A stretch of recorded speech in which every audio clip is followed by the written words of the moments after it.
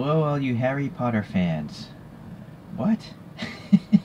Anyways, there's a ChoroQ Harry Potter car.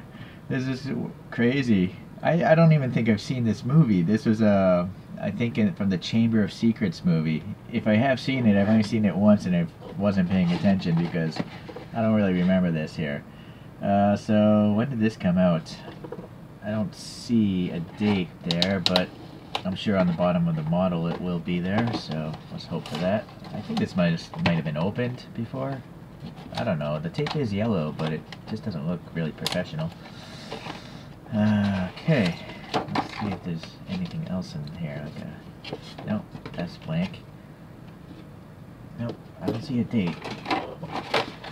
So this is a Ford Anglia 105E, which is another car, you know, I've heard about the Anglia, but I never really knew it, much about it. This line of cars dates way back to, let's see here, 1939. We're talking before World War II, right? Um, and then it spanned several generations. This is probably, this Wikipedia tells me this is the fourth Anglia generation here. Look at the focus there for you guys. And then this would be powered by a 1 liter inline 4 up front. It's to probably be rear wheel drive, it doesn't quite say.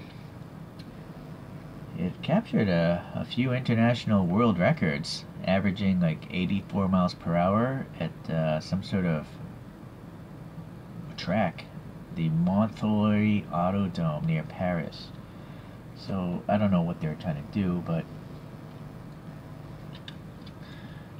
uh, I guess for 1959 or something like that, 84 miles per hour as an average is pretty fast. For a 1 liter engine, I guess that is actually quite fast. Over a million uh, of these cars are made. They were actually made in uh, England or the UK, even though it's uh, called a Ford. You know, Ford has factories everywhere. Alright, let's see what's going on with this guy. First, it says nice sky blue paint. Uh, the camera shows it's a much brighter sky blue. It's more pastel or something when I look at it with my own eyes. Uh, it's got some sort of circle, probably a badge there. The windows are relatively clear. They're not really dark. And then you got this cool little white line. Or it's more like a cream color uh, going printed on there. These are your stock ChoroQs, but they don't look anything like the movie car.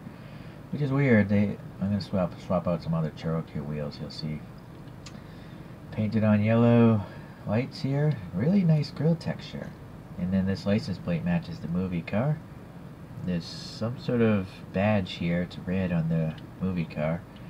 And then you have uh, Harry Potter and what's the other guy's name? Beasley, I think. it's a sticker. So if you don't like this thing, you can remove it, and then you'll just have a, a funky cartoon you know, car. But, you know, it's so goofy looking that I, I'm going to keep it on. I, I really like the fun factor, the funny factor of these uh, cars. Nice little ribbing there. This side looks pretty much the same as the other side. Yeah, the, the roof here, you can see it is kind of like a cream color. And then you have a Harry Potter license plate, and then these lights are painted red nicely. Some hinges here. And then uh, the silver on the casted in bumpers looks okay. Now, how old is this guy?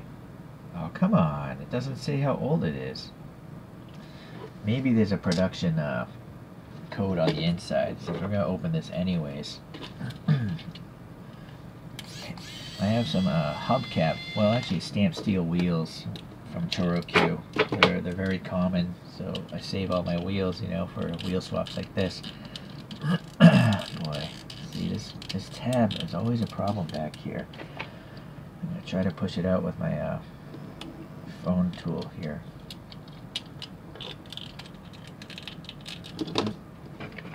Phone tool.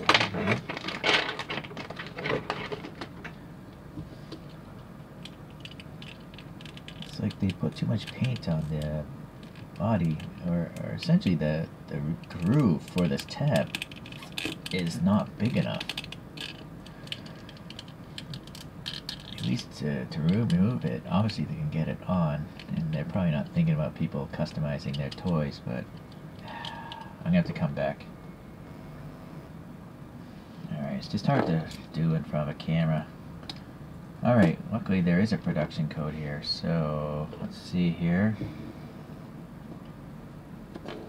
So it's the 11th month of 20 of 02? I'm gonna have to zoom in. My screen's so small I can't even read it. I think that's an O2. Or when did Harry Potter Chamber of Secrets come out? I'm gonna guess it's 2002. That's why I don't remember it. Maybe it's 2012, but it's either way, it's an old toy. Uh, the reason why I care about the date so much is because you know you buy stuff used, it gives you a good idea of how much you're you're paying, right? Is it worth it to you to buy pay an inflated price on an old toy? I have uh, another motor housing here that I took the axle out, so we're going to put this all back. Here's the inside construction. You'll see, yeah, it's relatively light smoked plastic, but then they painted it just nicely. That's really a nice uh, skill set that ChoroQ does. It's odd because I complain about Tomica Limited Vintage, you know, being subpar compared to the other modern brands. And yet, it's the same parent company, and that parent company can do such a great job painting a piece of plastic. Alright, so the steel wheels, here we are. You know, these are very common ChoroQ wheels. I added a little black, you know, Sharpie, bring a, add a little more details. And although they're not hubcap wheels, I think they're definitely uh, closer than five-spoke mag wheels that, uh, you know, ChoroQ decided to put on. I'm going to make this one steer.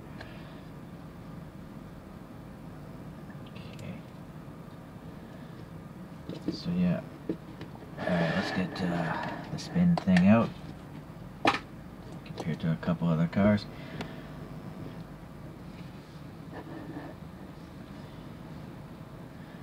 So yeah, I mean the thing just has, I think, stamped steel wheels with hubcaps, so I'm going to pretend the hubcaps flew off while they're flying around. Alright, uh, I have another ChoroQ, another classic style. It's a Mini, an Austin Mini. Obviously a very famous British car. And then I have a Ford. It's a Ford Thunderbird. So it's kind of got that American styling.